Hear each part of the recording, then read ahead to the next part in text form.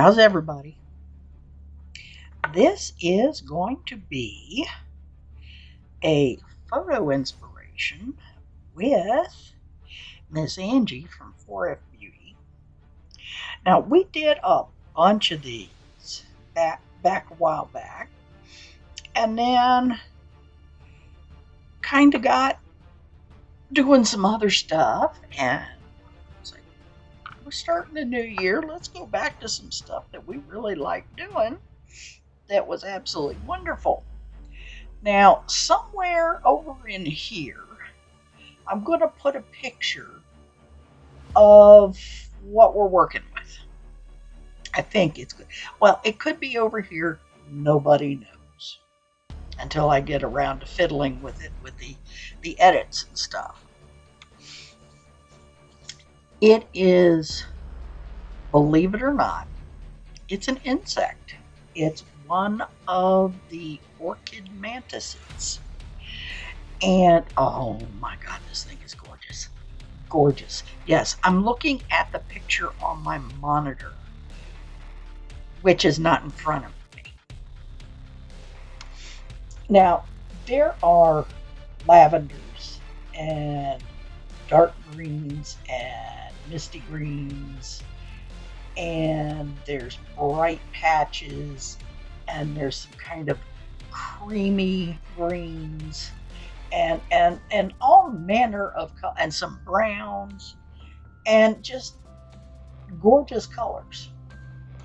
Now, the rules with the photo inspiration is that you can only use, only use the colors that are in the photo, anywhere in the photo. You cannot use colors that are not in the photo. So, yeah, and now the problem is some of this is is up to interpretation because we're working with a photograph. Our uh, monitors may not be showing everybody the same thing. The cameras may not be showing everybody the exact same thing.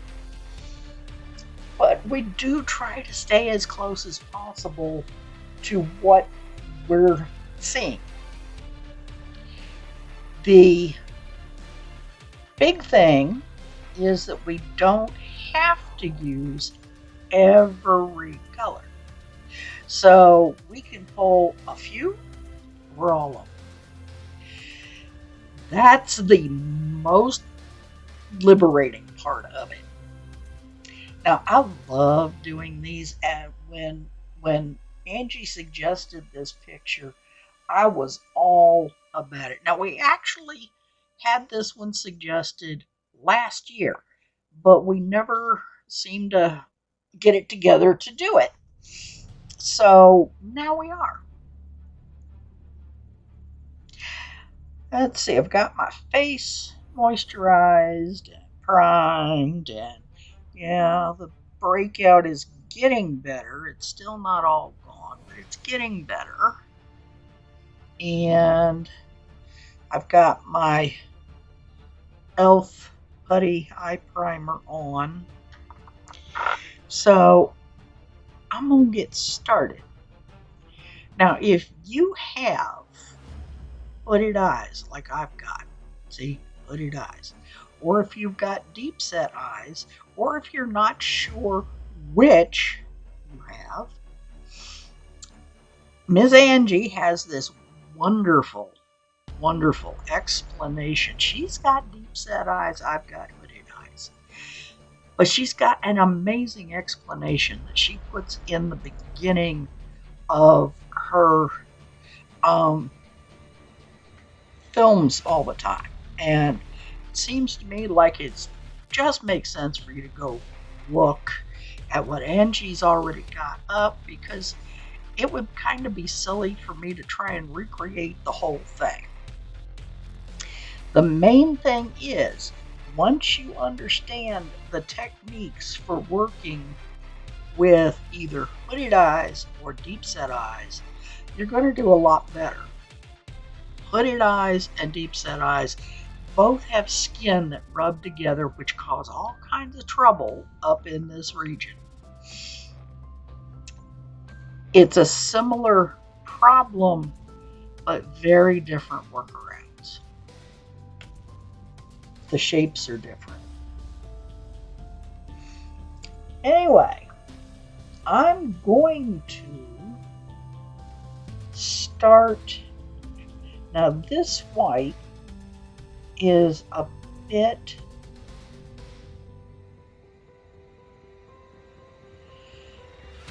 yeah, a little bit whiter than what's on the bug wing, but I'm probably going to be going over it with some other stuff, so don't start yelling immediately.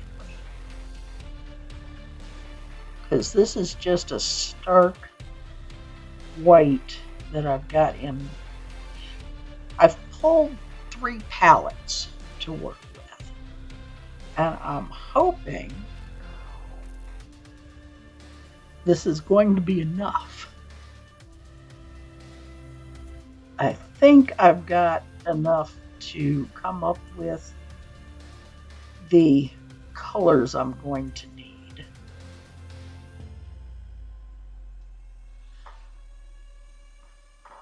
Yes, I know. It's a white primer base and white pigment on the brush. I'm just trying to get started a little bit here. and ignore my hiccups.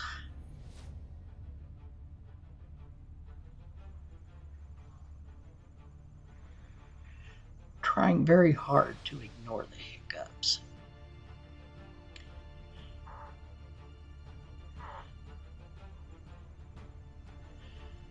Got some of my homework done.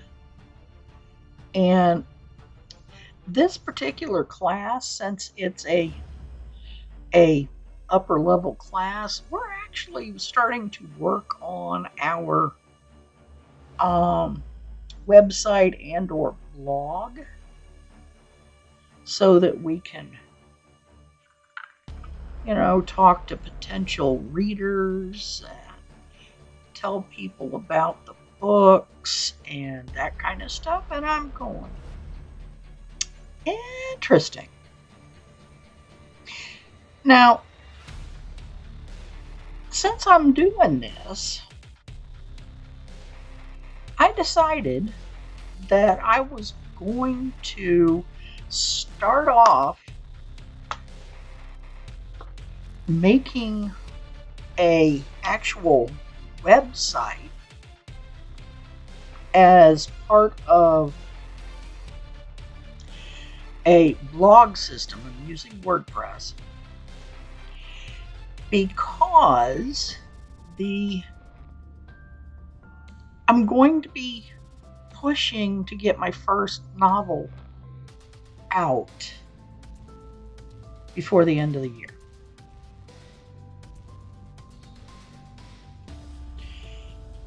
Granted, I've got a minute considering it's still only January, but that's where I'm going. I want to get my book moving. And I've got the start on the second book of the series I did during NaNoWriMo.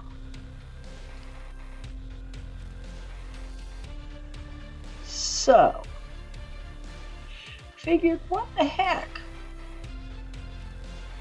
I will do my, go ahead and actually get my website moving using WordPress. And I picked a relatively inexpensive plan that got me, you know, my web address and all that stuff. And I'm going, okay, okay. Yeah, the, the, the class didn't require me to go buy a website. I mean, you know, they can't really require you to do that. But they wanted you to set up a blog or something similar. And I'm going, what the heck? I might as well go whole hog with this since that's where I'm headed. Is that whole hoggy routine.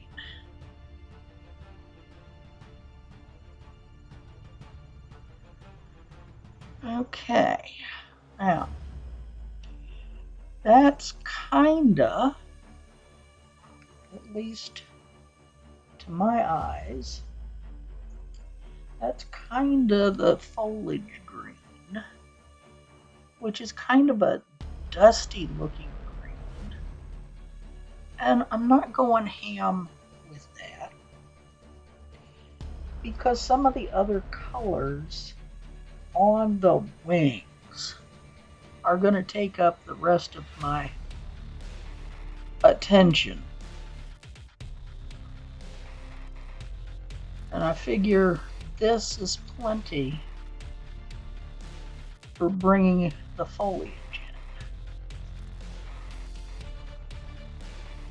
Yes, I'm using a teeny tiny little brush because I've got teeny tiny very little eye space because of my hooded eyes.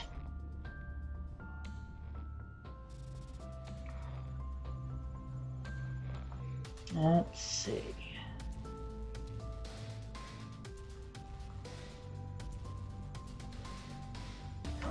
This one doesn't have the green I wanted.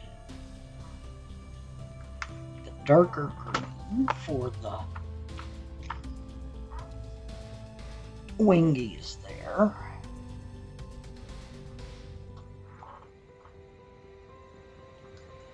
Let's see.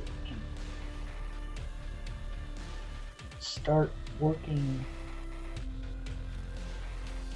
down here a little bit and going for a darker green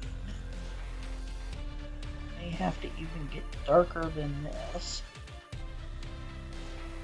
for the gorgeous dark green that's in those wings. I don't want to do a lot of it though because I want to have space for the lavenders. Let's let's try this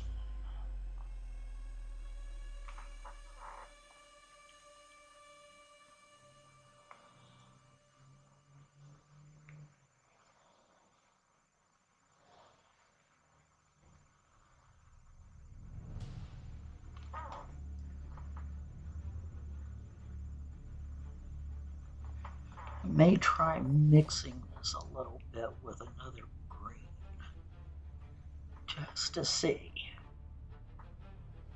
Because this is still, it's a little pale for what's on the wing, but I can always darken it up with some other stuff, you know?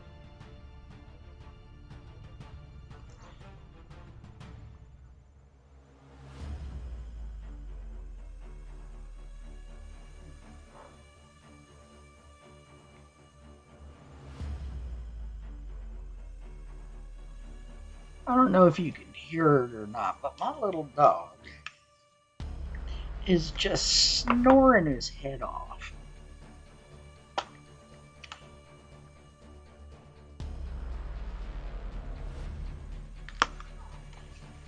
Which I think is kind of funny. He just snoring and snoring and snoring. Let's take some of that, some of that, a little of this and see if we can't darken this up without having to yank another out.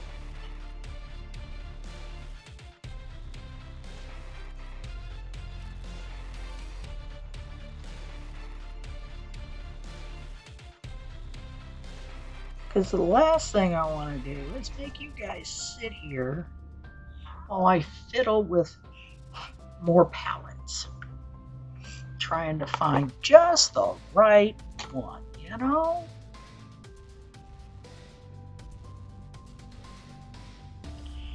Nope, that's not it. I got a couple that are over here right in front of me from something else.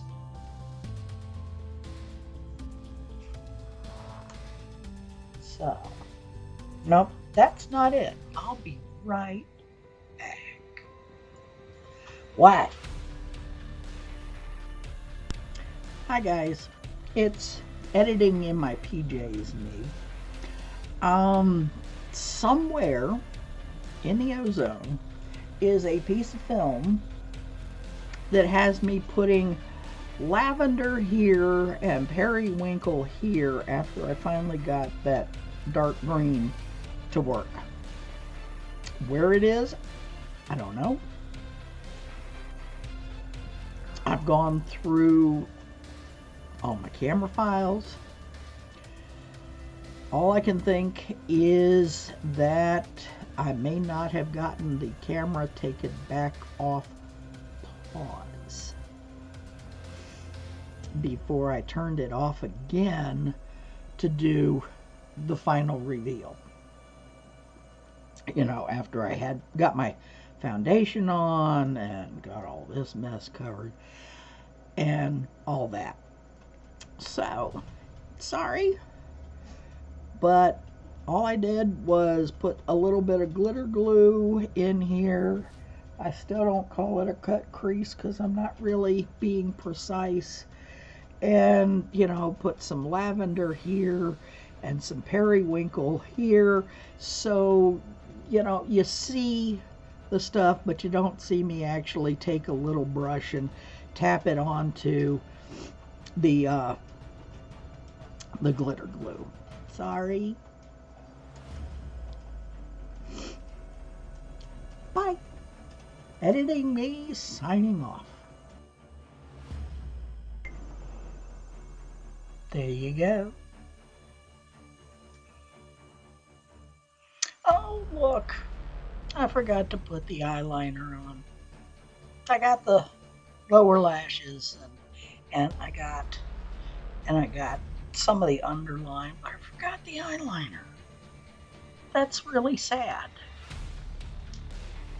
you know? So, let's see. Now, I couldn't decide with the wings, that big swirl in the center, the light colored swirl. There's a dark color that separates the green, the larger green patch that the swirl goes through from the paler colors. I couldn't decide for sure if it was black or dark brown. So I went with that black.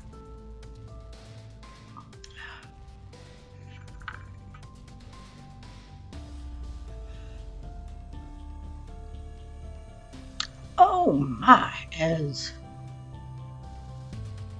90s love child would say, Burp Squad, pardon me.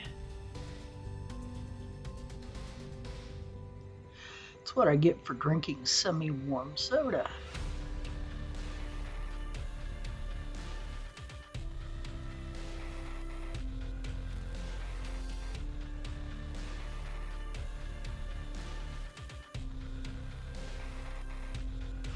Now, because of my hooded eyes, I really don't need to go way out with my eyeliner because it's not going to show anyway.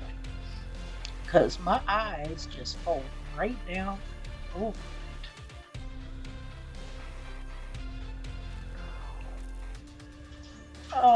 Okay, almost there. Yes, I have to take little tiny strokes and then go back and see if I can manage to pick it up again without making too much of a mess because my hands shake. Right now, my left one, which I've been practicing with, is shaking a little too much to try this with. So,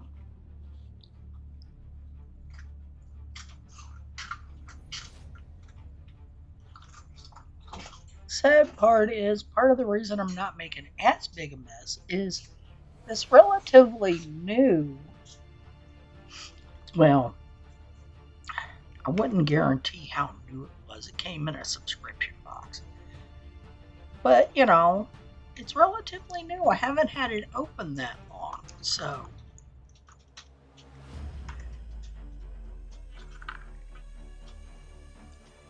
make sure I've got my mascara where it's supposed to be.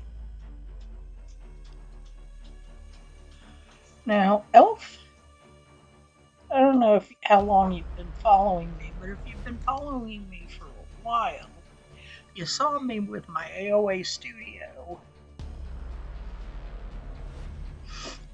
skinny, really skinny wand mascara that they came out with, you know, skinny, that they came out with for doing lower lashes, and the fat one they were doing the upper for doing the upper lashes. Well, Elf came out with one on each side. So you only need one, two.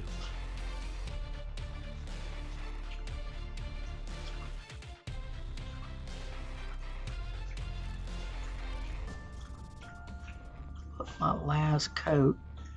And yes, I did spray my face, but I sprayed it immediately after I got everything on. Now I've got from my Moonchild palette, I used the purple horseshoe highlighter. And I've got that in the corners and on the cheeks and up here under the brow line and on the end of my nose. And then I took a purple pencil, outlined the lips a little bit, took a slightly shimmery nude and finished it up. So, there you have it. You tell me what, well, me and Angie both, what you would do different. If you really like these inspirations Go ahead and do it. Send them to us. I want to see what you would do with this picture. If you want to be involved in the picture inspiration stuff, check in with Angie. This is her baby.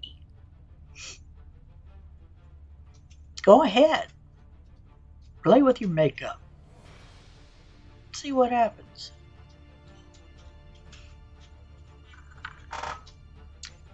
Good.